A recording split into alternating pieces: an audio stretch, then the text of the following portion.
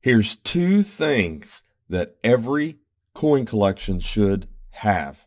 If you're a coin collector, you should own both these things. What am I talking about? Well, first, here's my website, portsmouthcoinshop.com, if you want to check out what coins we have and support this channel. Also, if you need help with coins, go to Coin Help You Community. So this is the first thing you need to have so that you can teach your children, your grandchildren, your nieces and nephews, even if you're young, you can buy these and teach your parents. If you'd be amazed how many people don't know all the presidents and know nothing about each one of them. But this can be a scavenger hunt where you find these coins, bring them in and learn something about the president and fill a hole in an album. You don't have to get PDNS, just get the Philadelphia Mint or just get the Denver Mint. But as long as you have one example of each one of these to learn about each president and learn who the presidents and learn different things about the president, learn what they've done, what's what's the main thing about them. Because it's important to know our history.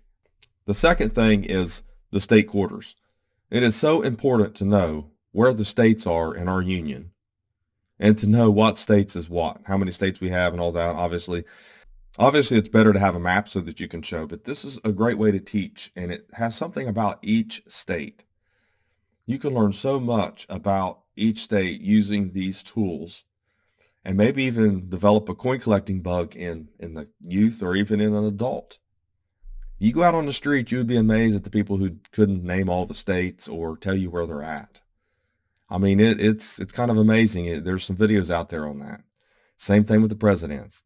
But that is the two things that I recommend every coin collection should own. Every coin collector should own. It probably should be in every history classroom, uh, even in every home, just to teach our, our children a little bit about our United States of America and unbiased information that they don't see on social media.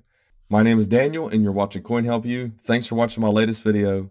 Please like, share, and comment, and have a great day.